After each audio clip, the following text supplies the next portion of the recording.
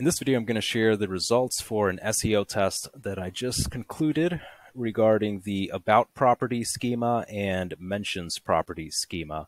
So first, I'm just going to show you the results of the test, and then I'm going to show you how to implement it in case you want to um, add this schema yourself.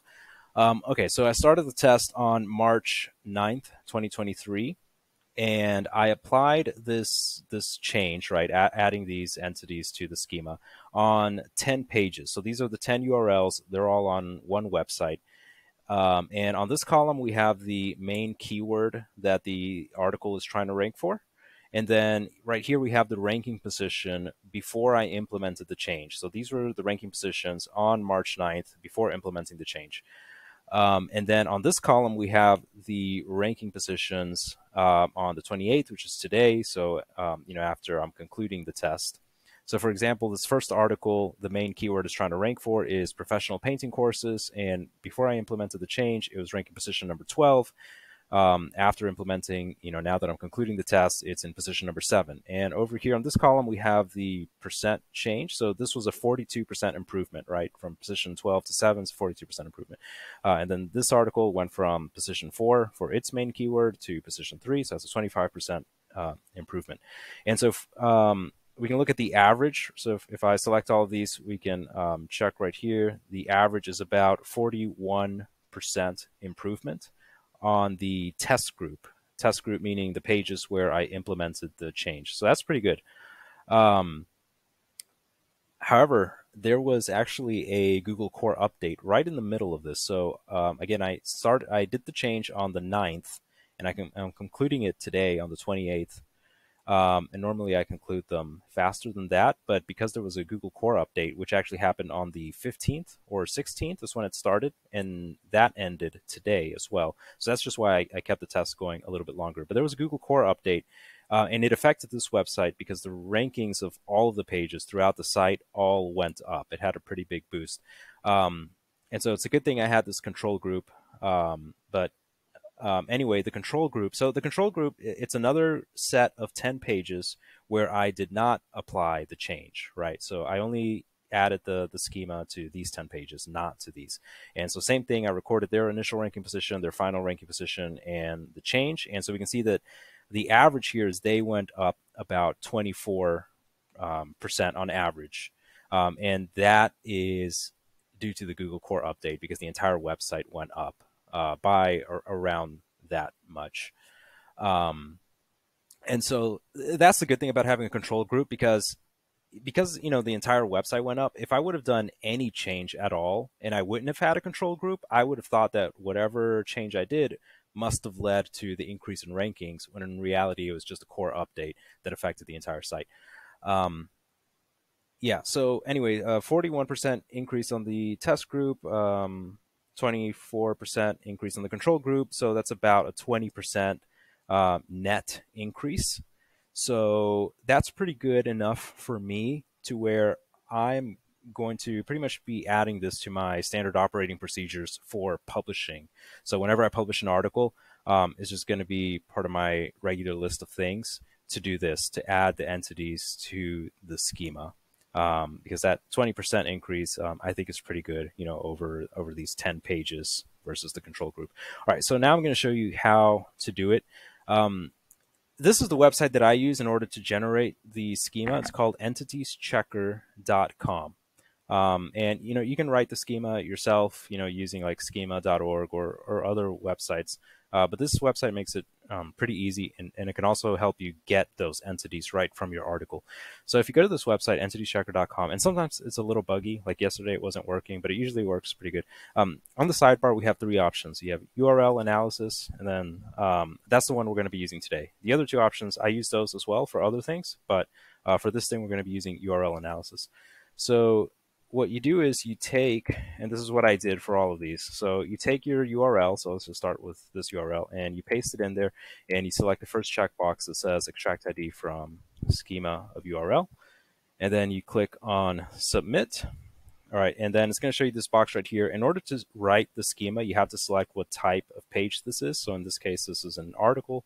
You just select that, and then these are the the areas where you're going to add your entities. So you have to add your about entities and your mentions entities. Okay, um, and I'll get to that in, in, a moment. And then you can also do um, knows about entities, but I'm not, I didn't do that for any of these. I'm only doing about and mentions. Uh, but then here, it also shows you actually a list of all of the entities in your article. So it's finding all of these entities uh, and showing them here, and it's giving you a confidence score, frequency. I think that's like the how, how often they appear in the article, uh, a relevance score. Uh, and by the way, if you go here to the homepage of uh, entitieschecker.com, you'll see like the links for the authors of, of this website. They have like a Twitter account, um, and you can follow them. They have a YouTube channel as well, so you can learn more about um, you know how they get these scores and all of that. Here you can see them, uh, the entities by frequency. And so um, anyway, so what you want to do is you want to add your entities here. So when you when you click here on the about entities, um, it's going to have um, this this drop down field, and it's just going to show you the entities from from your article. So you can just start selecting them from here, or you can even start typing and it'll find them. So in this case, what I did, I believe, was because um, this article is about painting training courses. So I'm pretty sure I did uh, training for the about entities, uh, painting, and there's probably not one for course. Yeah. Um, and actually, I'll show you exactly the ones that I picked and so this is the, remember I already added them to this article, uh, but here is the, uh, the HTML, the, the schema. And so um, let me zoom in actually so that you can see it better. So for the, um, for the about, right, we have uh, training, we have um, house painter, and then for the mentions, we have uh, education, because the article mentions education, learning, uh, and that's it. All right. Um, so, you know, the people who I've heard talking about this method, um, they generally recommend only selecting about, you know, two, one to three about entities. And you, you want to make sure that these are really like exactly what your article is about. That's the general idea.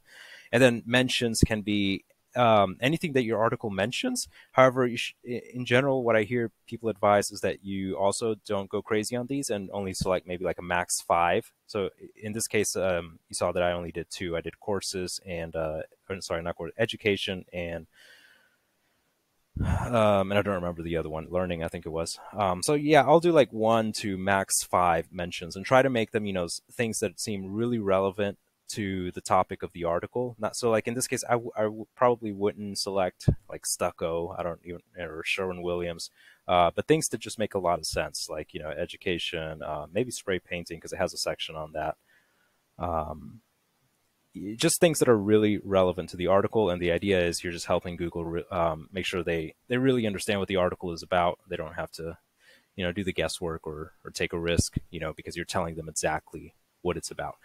Um, so anyway, I'll, I'll just add here um, education and um, learning. All right, and so once you add your entities, you're going to scroll down and you're going to click on this option, this, this button that says download about and mentions entities JSON LD. And so that is going to download a text file. Uh, I hope you can see it here in the recording. Uh, but all you do is you just copy it uh, to your clipboard. So select it all and copy it.